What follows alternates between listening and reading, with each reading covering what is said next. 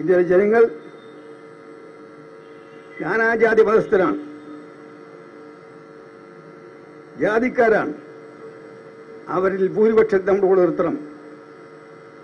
ന്യൂനപക്ഷം മാത്രം പോരാ. ഇന്ത്യ ജനങ്ങളിൽ ഭൂരിപക്ഷം ഭൂരിപക്ഷ സമുദായം ഹിന്ദുക്കളാണ്. ന്യൂനപക്ഷത്തോടൊപ്പം ഹിന്ദുക്കളുടെ ഭൂരിപക്ഷത്തെ കൂടി മോഡിക്കെതിരായ സമരത്തിൽ കൂനിർത്താൻ സാധിക്കണം. അതിന് എല്ലാവരും കുറച്ചുകൂടി ജാഗ്രത പാലിക്കണം. ഇവിടെ മുസ്ലിമിന് പള്ളിയിൽ പോകാം. ക്രിസ്ത്യാനിക്ക് പള്ളിയിൽ പോകാം. ഹൈന്ദവ സുഹൃത്തുക്കൾ ആരെങ്കിലും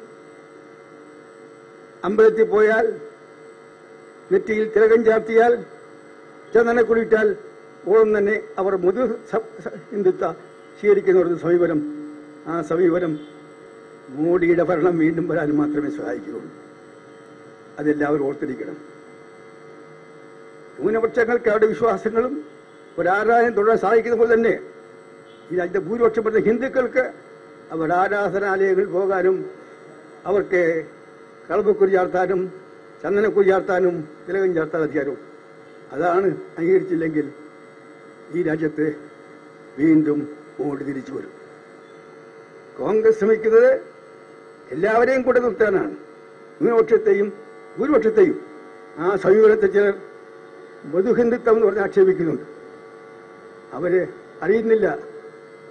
അവർ സഹായിക്കുന്നത് മോഡിയെയാണ് ബി ജെ പിയാണ്. നമുക്ക് വേണ്ടത് എല്ലാ സമുദായങ്ങളുടെയും പിന്തുണ വേണം. ന്യൂനപക്ഷത്തിന്റെ പിന്തുണ വേണം. ഹിന്ദുക്കളുടെ മഹാപുരുഷത്തിന്റെ പിന്തുണ വേണം.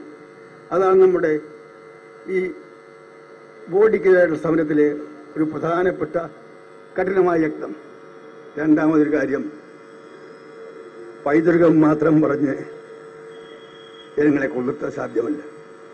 ഇന്ത്യൻ നാഷണൽ കോൺഗ്രസ് എന്ന് പറഞ്ഞാൽ സ്വാതന്ത്ര്യം നേടിയ പാർട്ടിയാണ് ഗാന്ധിജിയുടെ പാർട്ടിയാണ് നെഹ്റുവിന്റെ പാർട്ടിയാണ് ഭരണഘടന ഉണ്ടാക്കിയ പാർട്ടിയാണെന്ന് പറഞ്ഞാൽ മാത്രം കാര്യമില്ല.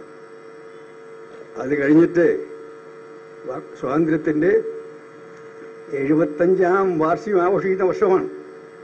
ഈ എഴുപത്തഞ്ച് വർഷമുള്ള ഇന്ത്യയിലെ യാഥാർത്ഥ്യം എന്താണ്? ഈ ഇന്ത്യയിൽ എഴുപത്തഞ്ച് വർഷം കഴിഞ്ഞപ്പോൾ ജീവിക്കുന്ന വിവിധ ജനവിഭാഗങ്ങളുടെ കൃഷിക്കാരുടെ തൊഴിലാളികളുടെ ചെറുപ്പക്കാരുടെ ആദിവാസികളുടെ ദലിതരുടെ മറ്റൊരു എല്ലാ വിഭാഗക്കാരുടെയും സ്ത്രീകളുടെ എഴുപത്തഞ്ച് വർഷം മുമ്പുള്ള സ്ത്രീകളാണോ? ഇന്ന് അടുക്കളയിൽ മാത്രം കഴിയാൻ ആഗ്രഹിക്കുന്ന സ്ത്രീകളാണോ? അവരും തുല്യാവകാശം ആഗ്രഹിക്കുന്നു. അവർക്ക് സ്പേസ് വേണം. അങ്ങനെ ഇന്നത്തെ ഇന്ത്യയിൽ എഴുപത്തഞ്ച് വർഷം കഴിഞ്ഞിട്ട് സ്വാതന്ത്ര്യശേഷം എഴുപത്തഞ്ച് വർഷം കഴിഞ്ഞ ഇന്ത്യയിൽ വിവിധ വിഭാഗം ജനങ്ങളുടെ ഇന്നത്തെ സ്വപ്നം ഇന്നത്തെ ആഗ്രഹങ്ങൾ ഇന്നത്തെ യാഥാർത്ഥ്യം അംഗീകരിക്കുന്ന അതംഗീകരിക്കുന്ന ഒരു ബോധന ശൈലി വേണം. പരിപാടി വേണം. ഇന്നത്തെ ഇന്ത്യയിൽ ജീവിക്കുന്ന ഇന്ത്യയിലെ ജനങ്ങളുടെ സ്വപ്നങ്ങളും കഷ്ടപ്പാടുകളും പങ്കുവെക്കുന്ന അവരോടൊപ്പം നിൽക്കുന്ന ഒരു മഹാജനക പ്രസ്ഥാനമായി.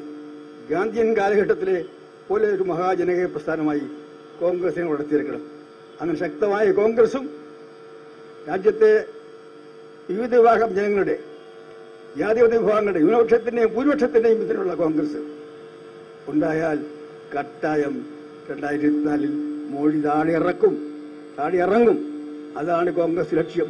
നൂറ്റി മുപ്പത്തെട്ടാം ജന്മദിനം ആഘോഷിക്കുമ്പോൾ ഓരോ കോൺഗ്രസുകാരന്റെയും ലക്ഷ്യവും പരിചയമായിരിക്കണം.